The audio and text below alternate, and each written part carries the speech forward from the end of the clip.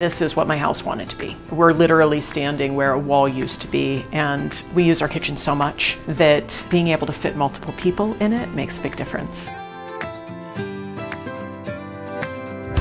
Today we're in Parker looking at one of the projects that Josh from Rocky Mountain Cabinet Company actually built uh, for a great family here in Parker that wanted to change the overall space, get a feel for a little bit larger space, allow family to come in a little bit more.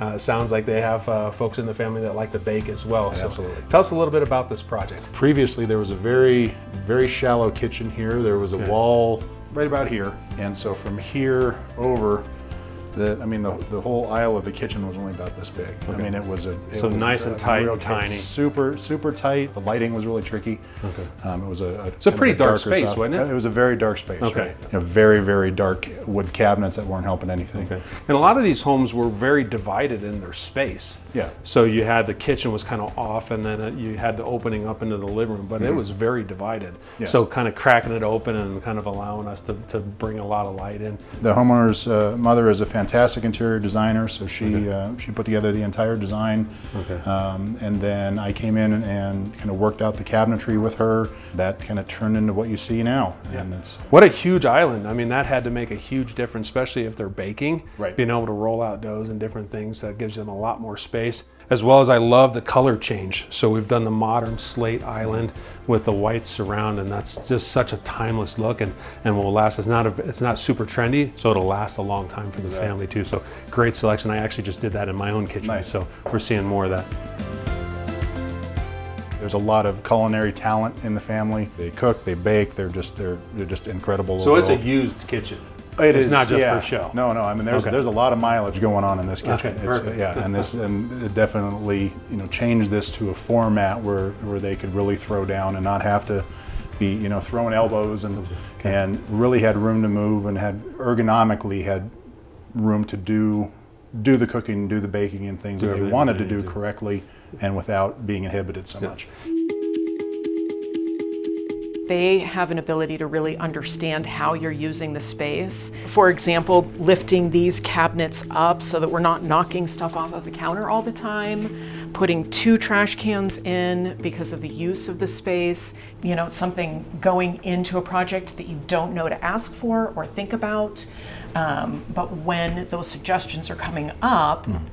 you're kind of, you get that moment where you're like, well, of course, that's fantastic. Mm that is, of course, the way I would want it to be. Right. Right. Maybe, you know, maybe things that, you don't know, you don't know sometimes, and yeah. Yeah. How many times yeah. did we say you don't know till you know till you know till mm-hmm. you know? Yeah. so, you know that I didn't have to break dishes or get pull another trash can out and find somewhere to put it. Right.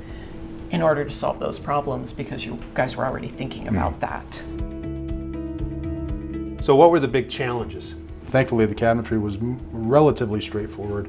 Okay. But I remember this hood being a challenge, um, just having to consider the, the permitting necessary to be able to vent okay. this outside and, and, and to do this correctly, given that it's a larger gas grill.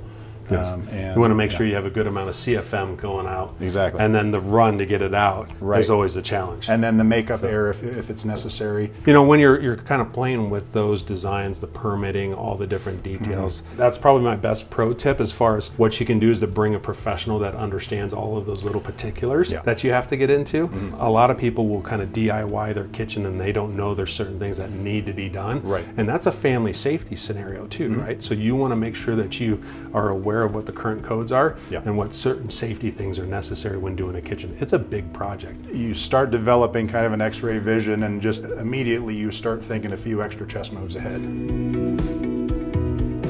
Anything else about this kitchen that is worthy to talk about? Um, you know, one of one of the things that it seems like a small element, but something okay. that I really enjoy that they chose to do was to have um, dual um, trash slide outs. So they have, oh, that's a great so idea. They have one on this corner and then one on the opposing corner. Okay. And so they have a total of four cans. And when you're when you have large groups of people in a kitchen like this and everybody's throwing down and, and so much is going on, or you have a birthday party and you have to throw okay. away, you know, 20, 20 different you know plates or this or that. Um, having that on both sides is great because you can have the one here for the people who were active in the kitchen okay. and then the one over on the opposite end That's for people who don't idea. have to come into this space And you know, it's there. There is such a thing as too many butts in the kitchen. Yeah, right? I And that- agree. that- that's how I I've agree. started rating kitchens. Is you know, How many butts you can get in exactly? the kitchen? This is a Okay, three butt or good pro five butt kitchen, right? Yeah, yeah. All right. I love the idea of having two trash cans. I actually might need to change that in my kitchen because we do actually fight over the trash Mm-hmm. Right. cans. So it seems like it's right in the prep area. Yeah. Mm-hmm. And when you have two or three people prepping, it, it does make a difference.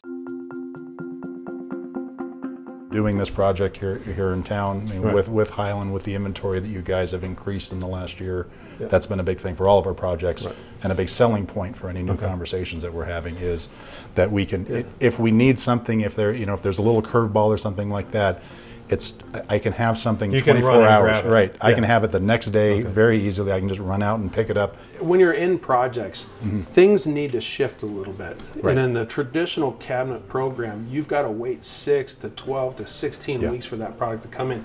You can literally come right down to our warehouse, which I see you do, Right. and, and actually pick up a product either that day or the next day Mm-hmm. and get back out to the job site to get it done. How instrumental has that been for you to get projects completed? that it's been key uh, Okay. and really that's that in itself has been such a defining thing for us because there's one getting into projects so having you know having sales conversations with customers and letting them know that as we get into something that we can we have the flexibility of if we hit a curveball which every project does period i don't care who you are You're not going to get through a project Yeah. without a little bit of a you're not. curveball. You're Sometimes not. big exactly. curveballs. Yeah. And and it's you know curveballs can come from all kinds of different causes.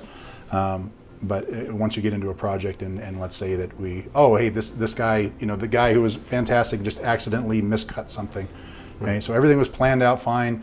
Somebody miscut something on accident, and now we don't have to wait, you know, six weeks to get a repair piece. right down to the warehouse, pick trim. it up, get back out to the Exactly. job site. Yeah. And that makes a big difference, especially for dealers like you, Mm-hmm. getting a project completed, getting a, the punch list done. Right. And in a lot of cases, that can be the make it or break it of when you get paid to complete the project too. And, No question. And our goal for um, small and mid-sized uh, companies is to help them grow, to help them be flexible, Mm-hmm. to help them get through these projects, and make sure that there's product in the warehouse that can help you do that, get Yeah. done, get paid, and then get to the next project. Because time is Right. time is money. Yeah, Right. There's so many benefits to just having it right there. So some flexibility, some speed. Yeah. You're back out. You're finishing projects. You can move on and, Exactly. and not having to wait such a long period of time. Right. So yeah, I noticed when I was doing custom cabinetry that Mm. that if I made a mistake on the job site, I was literally weeks, if not months, to get back out to the job site. And and for a family, they want to get into the kitchen and Right. Use it again. And the family's a little bit disrupted during the process, so we want to get them done, get them back in the kitchen,